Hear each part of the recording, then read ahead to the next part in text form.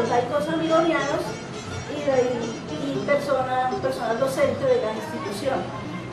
Entonces nos encontramos con Lucía.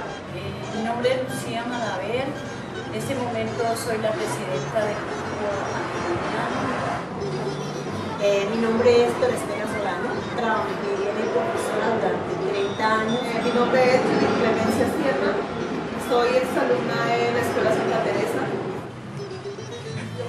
Llamo Rosalía Teresa, estoy estudiando acá y eh, también estoy en el grupo y estoy con las hermanas colaborando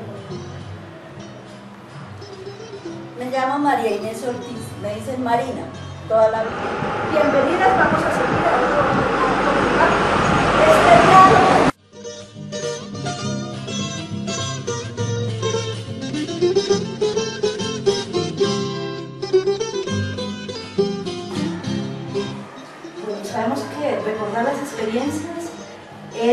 nuevamente.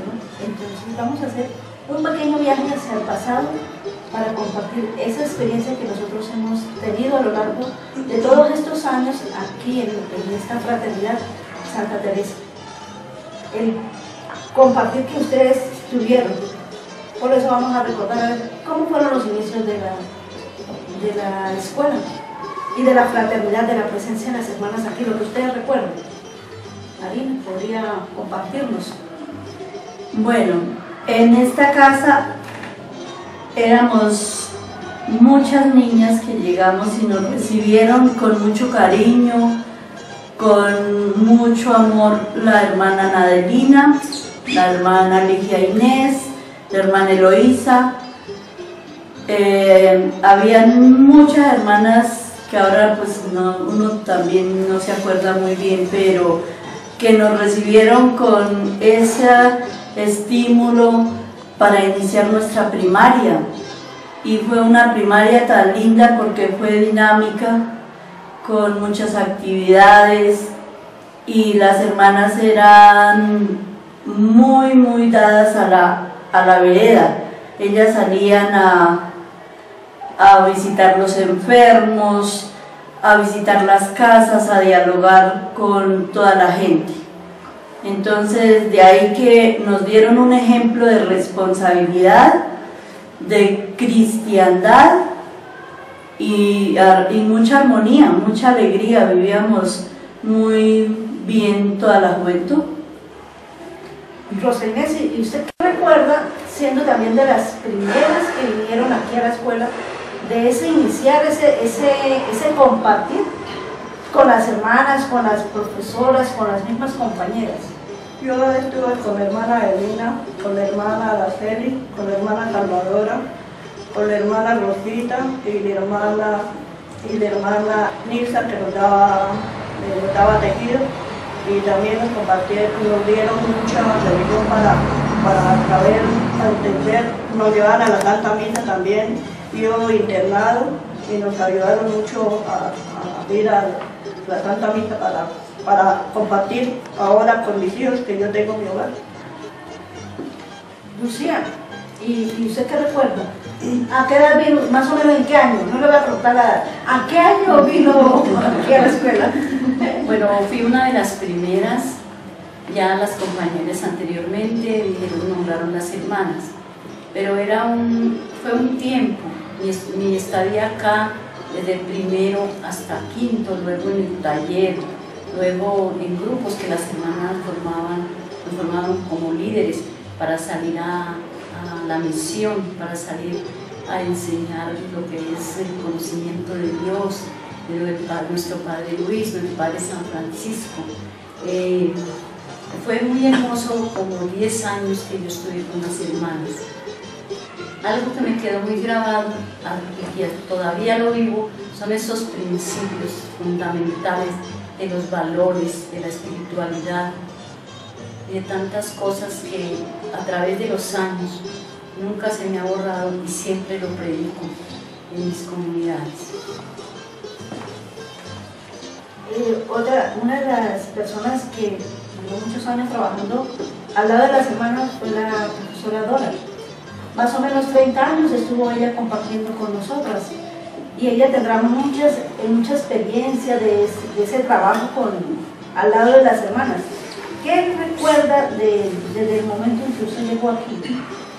Eh, yo trabajé aquí durante 30 años, llegué en noviembre del 79. Eh, la, hermana, la hermana que me encontré como directora era la hermana Pilar, una hermana muy querida, muy cariñosa, el recibimiento que le hacían a uno aquí era increíble, era como sentirse una familia. Eh, compartí experiencias muy agradables, muy bonitas, de pronto tomar decisiones inesperadas, pero nunca sin, sin salirnos de, de, ese querer a la gente, querer a la gente de la comunidad, de la vida, ayudarles, sobre todo a las personas más necesitadas. Aprendimos precisamente con esa espiritualidad, con ese cariño y con ese carisma eh, a querer a todas las personas que una u otra forma estaban con nosotros, tanto a los alumnos como a los padres de familia, como a los vecinos. Nosotros sabemos que, que el compartir precisamente con la gente nos va marcando y nos va dejando huellas. Vamos a, a recordar ese, ese pedacito significativo, que es lo que significó para, para Judith. bueno, yo prácticamente entré a estudiar mi primaria del año 80, 81, 82 más o menos. Eh, mi experiencia pues salir de la casa, entrar al trato con las hermanas, con las profesoras, pues porque en ese momento ya estaban las profesoras. Entonces, pues fue una experiencia muy bonita porque uno aprende muchas cosas, incluso eh, le enseñan mucho sobre la fe que uno debe tener para con, para con Dios y, y para, para poder compartir con las demás personas. Entonces, eh, también tuve la oportunidad de, tener como profesoras a dos hermanas, que fue la hermana María Teresa López y la hermana María Teresa Cancelado. Eh, entonces ellos nos enseñaron mucho, o sea, la responsabilidad para hoy en día tener pues un hogar no perfecto, pero sí muy responsable en cuanto a enseñanza de los hijos y de la compartir con las demás personas eh, las cosas y problemas para poder solucionar mm, eh, dificultades y, demás cosas. en estos momentos nos encontramos en el patio de las Rosas. Es uno de los lugares más bonitos de la institución y, y más acogedor, más agradable. Y también porque lo estamos aquí en presencia de nuestro Padre Luis, teniendo en cuenta que este es el lugar más bonito, vamos a recordar a ver cuál fue la enseñanza que nos quedó a cada una de esta experiencia compartida aquí a lo largo de los años. Bueno, como decía la hermana, este es el lugar más hermoso, ¿por qué? Porque está la estatua de nuestro Padre Fundador y también eh, se encuentran estas rosas que siempre han permanecido a lo largo de cuántos años por eso se llama el patio de las rosas. Acá las hermanas nos enseñaban a, apreciar la naturaleza, porque la naturaleza es la presencia de Dios. Eh, aprendimos de esto a cuidar la naturaleza, a cuidar las flores, a cuidar las plantas. Y también eh, nos sentíamos como muy muy cerca de Dios, muy cerca de nuestro Padre Luis. Eso fue lo que a mí, pues, hasta el momento, las veces que yo llego a este lugar, me siento muy, como muy agradable, como muy contenta de haber experimentado en los tiempos de mi niñez en este lugar. Eh, esta es la parte hermosísima. ¿Por qué? Porque también acá, desde acá iniciamos todo el panorama de nuestra escuela. Estuvimos acá muy felices y todavía nos sentimos felices porque cada que venimos acá eh, somos personas que nos acordamos de todo lo que aprendimos. Aprendimos la sencillez, ser sencillos, ser humildes con todos nuestros semejantes, con las hermanas sentirnos ese carisma de espiritualidad, de amor hacia todos nuestros compañeritas. Y también aquí aprendimos a ser responsables, a ser personas para hoy muy buenas para tener nuestros hogares que tenemos hoy en día, porque en el hogar se, aprende, pero en la escuela es nuestro segundo, nuestros segundos padres.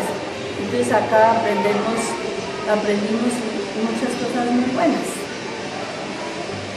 en el pasar por esta institución eh, me quedó como enseñanza eh, valorar lo que aprendí, lo que me enseñaron y también eh, recordar y admirar mucho eh, la fortaleza con la cual han seguido funcionando con la escuela a pesar de que pues ya no hay maestras hermanas terciarias. Entonces, pero siguen profesorado que ellas también están dando un ejemplo para que siga y no acabe nuestra escuelita y así pues seguirla recordando como nuestro segundo hogar después de la casa. Eh, para mí llegar aquí fue una gran oportunidad que Dios me dio. Tuve la dicha de, compartir muchísimo con las hermanas terciarias capuchinas, conocer eh, toda la teoría del padre Luis Miguel Ferrer, que es la teoría del amor, cómo tratar a los niños, cómo convivir con las personas que tienen más dificultades, eh, con la cantidad de valores que es la responsabilidad, la honestidad, la sinceridad, la alegría, porque realmente tuvimos a nuestra institución el, campeonato de los mejores deportes, las mejores danzas, los mejores trabajos. Cuando los niños llegaban al bachillerato decían venimos de la escuela Santa Teresa o San Luis Miñas y ocupaban los primeros lugares porque estábamos tan, tan metidos en nuestra labor que lográbamos sacar personas excelentes. Para mí fue muy agradable llegar aquí a la escuela porque me, me enseñaron a valorar las cosas y a aprender a respetar la santa naturaleza también para, para a, ir a visitar enfermos, a los hermanos y para afrontar la realidad porque debíamos perdonar, si estábamos compartiendo con las demás compañeras, debíamos afectadas con los delitos que fueron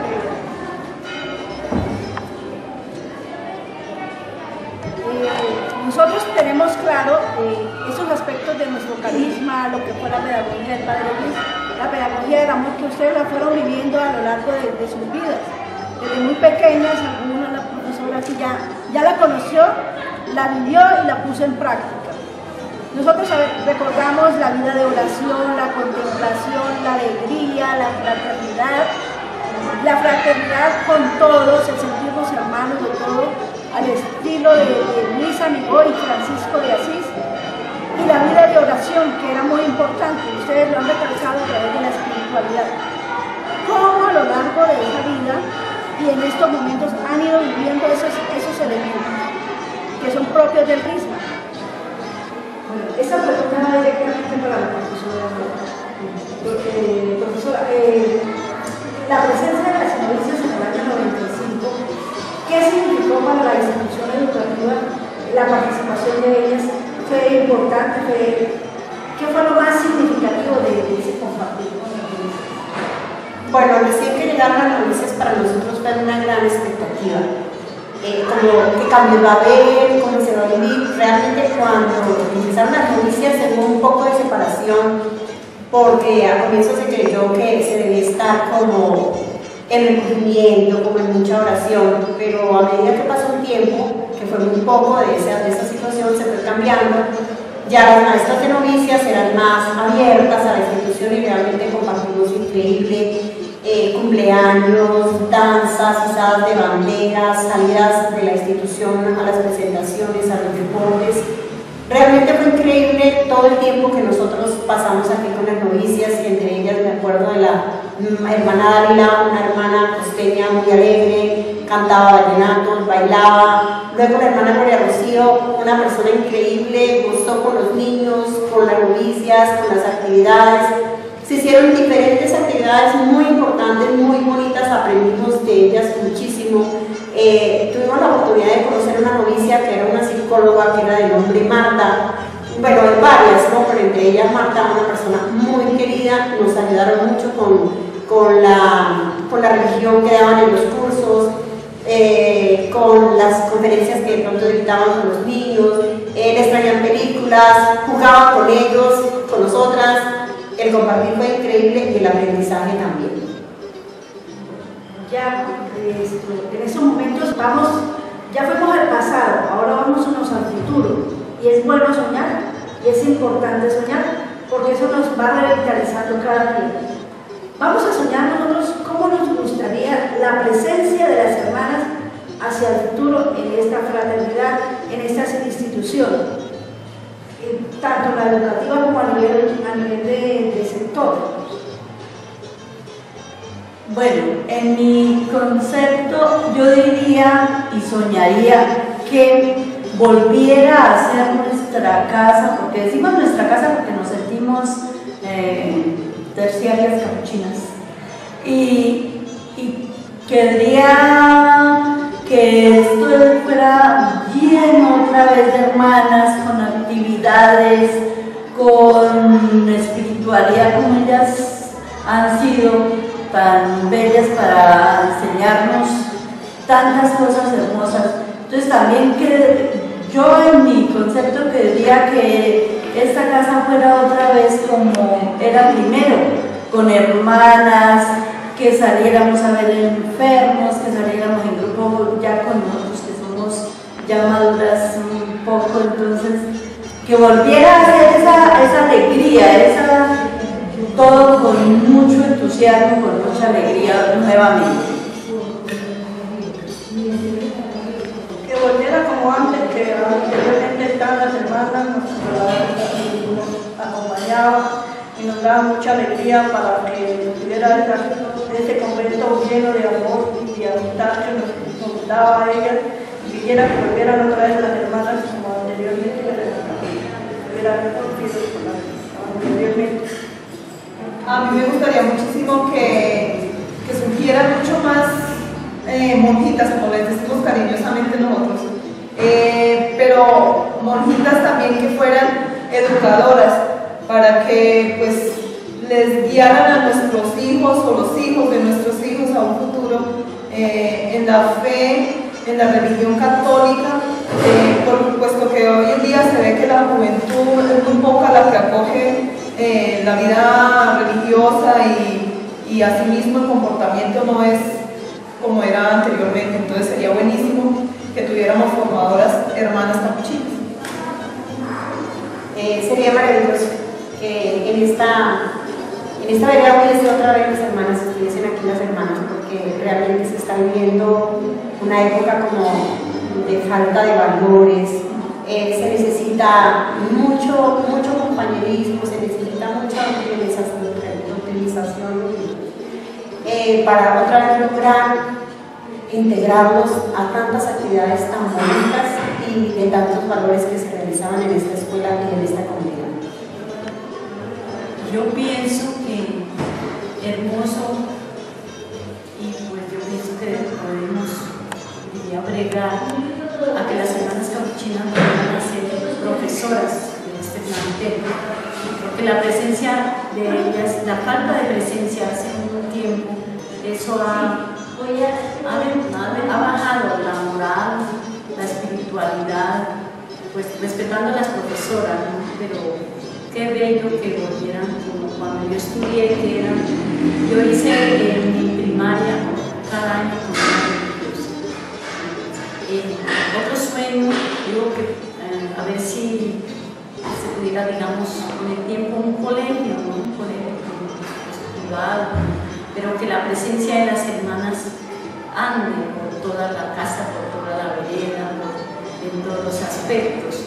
Otro sueño de pronto volver al